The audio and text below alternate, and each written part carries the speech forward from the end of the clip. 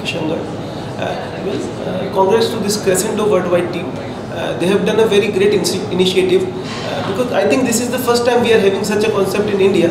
From we are buying regularly from Turkey, but for that we have to go Turkey uh, on a regular basis. But first time it is that the Turkish companies are coming to us and selling the material. It's a very great initiative, and I had a very fruitful meeting with three of the companies over here, and I think my business will Uh, get further acceleration from such initiative.